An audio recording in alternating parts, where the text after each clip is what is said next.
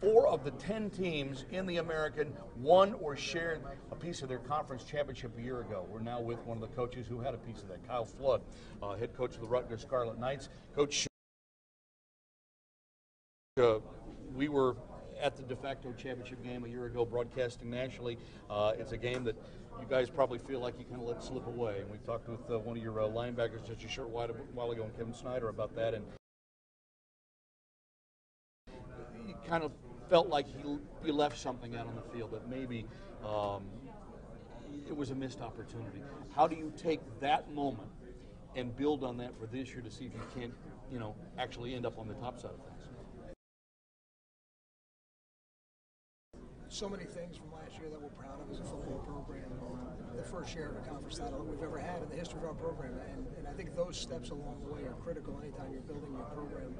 But you're right, there were some things at the end that we left on the table, and, and we were certainly disappointed about. I think those are the things that really motivate you as you get into your off season, and they drive your football team. But as we get ready to play this season, you have to put them in the past. This is a new season. Everybody starts zero and zero. We've got new teams to play, new challenges this year, and a lot of games to play before we get to play at Louisville later in the season. Not only do you put those things away, but you put away the fact that you had so much familiarity uh, with you know the teams that you've been playing three and four years, uh, the guys that you're all recruiting uh, against each other, and you kind of get a sense of, of who has talent and what kind of talent it is, and you know who runs that set, and, and all those type of things are out the door. You're in a new conference, a new situation. You're going to see some teams that you're unfamiliar with how do you prepare a team that that that had motivated themselves with with how how the season ended for you last year, and now the the uh, kind of disruption or the or or or, or that, that transition period that you're going through as a conference um, leader. The important thing for us was that we're in a conference that gives us access to what we want, and this conference does that for us this year. We have an opportunity to play for a conference championship. Our conference champion is going to play in the BCS. At Rutgers, that's what we want. We want the opportunity to continue to win championships. Uh, every year, those challenges surface. Sometimes it's because you have new teams, which has happened a couple times uh, to us in the last couple years in, in, our conference play. And but your non-conference schedule changes every year, right. and those are new challenges. And even sometimes in your conference schedule, coordinators change, head coaches change, and that's almost like playing a new team, even though you do have some familiarity with the personnel. Uh, that, that I don't think we have that liberty this year. All right, so your team is preseason picked for third in this league, so you're obviously considered to be one of the potential contenders here. Um, but I know that it's a position that Rutgers is uh, used to over the last couple of years, anyway, from where this team has been. So, what does it take specifically with what you have uh, coming back this year? What does it take to put your team on that top level? I think it's two things. Uh,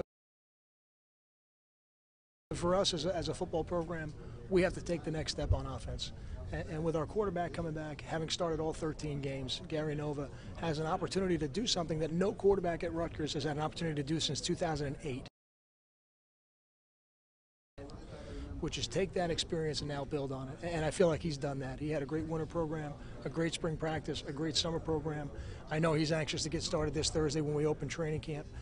But our offense taking the next step that's going to be critical to what we want to do this year. And then finding the younger pieces of our defense. We've played defense at a very high level at Rutgers over the last eight years, and with a lot of different faces.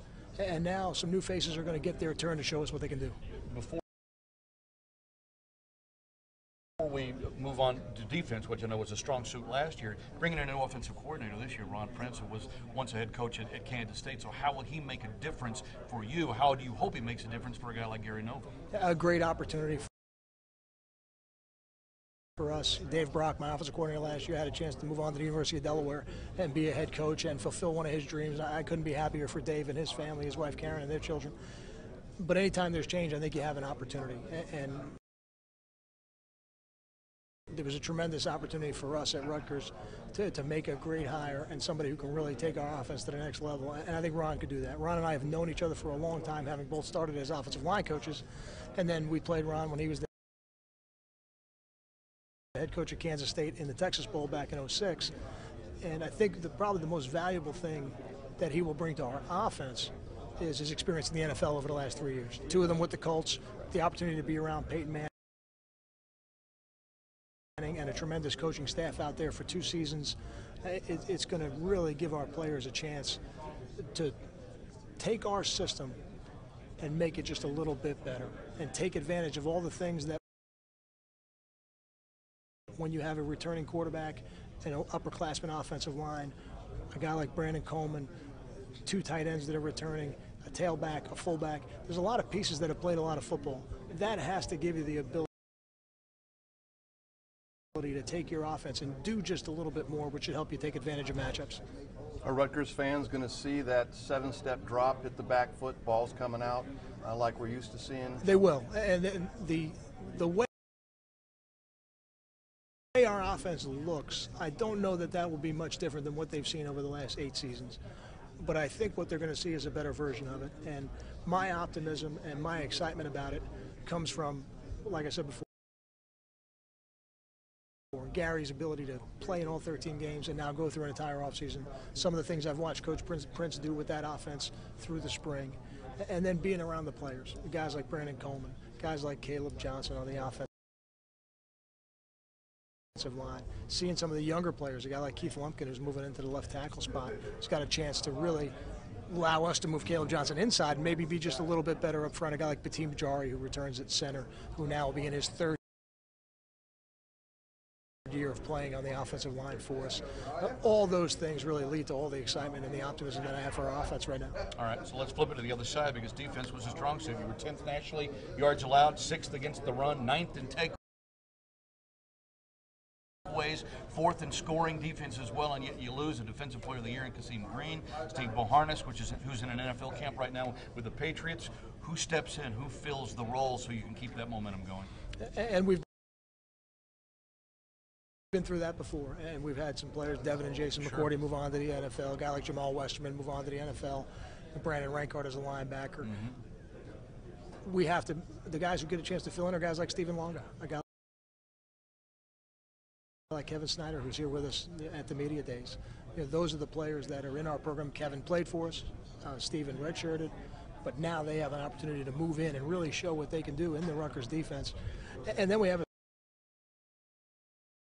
secondary where you have four players who move on to the NFL out of your top five in the secondary.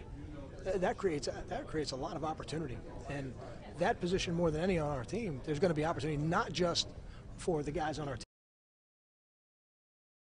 team, but really for the freshmen that are coming in this year. Can we say that it seems to us, from our vantage point, uh, that the New England Patriots like Rutgers players?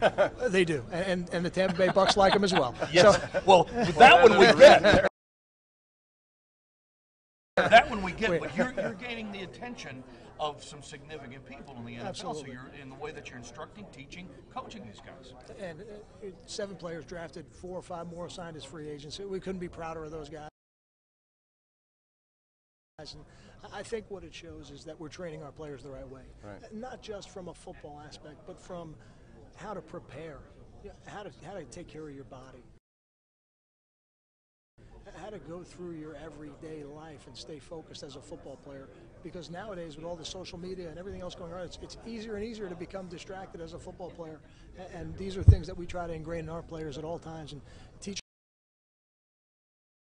them how to do it the right way, and teach them how to be a professional so that when they move on, it's always going to be a transition. But that transition becomes just a little bit easier. Biggest challenge for you this year? Coming off 9 and 4, playing for a conference championship